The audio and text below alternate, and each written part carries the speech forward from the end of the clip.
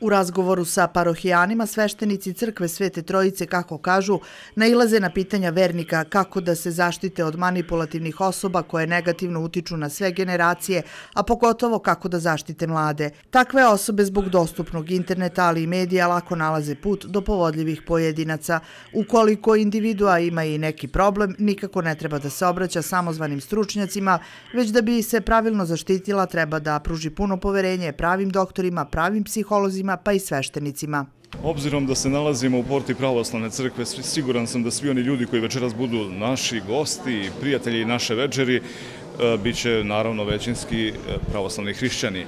I svakako da je njihov put već dovoljno utvrđen. E, ono što mi u našem pravoslavnom životu moramo da održimo, to, jest, to je saradnja sa samim gospodom Bogom. Saradnja, kontakt i odnos sa njim. Najbolji put, molitva, post, pričešćivanje, i sve ono što povezuje te stvari sa nama i sa gospodom. Tako da je za pravoslavne to dovoljno, a nije loše ugraditi svoje znanje i dopuniti svoje znanje, tako da kažem, eto, divna prilika da nešto novo i vidimo i saznamo večeras i ujedno da iskoristimo u borbi za našu budućnost. Sveštenstvo Hrama Svete Trojice organizovalo je predavanje predsjednika Organizacije za stabilizaciju mladih zid, ne samo za vernike, već i sve zainteresovane građane koji su želeli da se upoznaju sa aktualnom temom.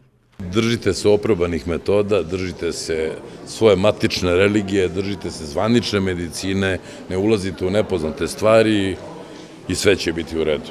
Nemojte mnogo verovati raznim pričama, teorijama zavere i sličnim glupostima koje nas bombarduju sa svih strana putem medija, čak i, čak i sa televizijama sa nacionalnom frekvencijom, vidjet ćete gomilu, gomilu ljudi koji se predstavljaju kao vidovnjaci, vračevi, numerolozi, astrolozi, vetski astrolozi, e, meni je muka više da ih nabrajam, ali to je to.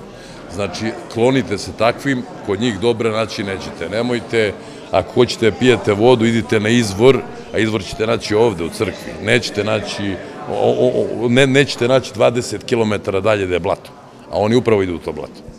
Predavanje je organizovano u porti Stare crkve, odnosno u Staroj skupštini još jedno je u nizu u okviru svetotrojičkih duhovnih svečanosti sa blagoslovom episkopa Šumadijskog gospodina Jovana.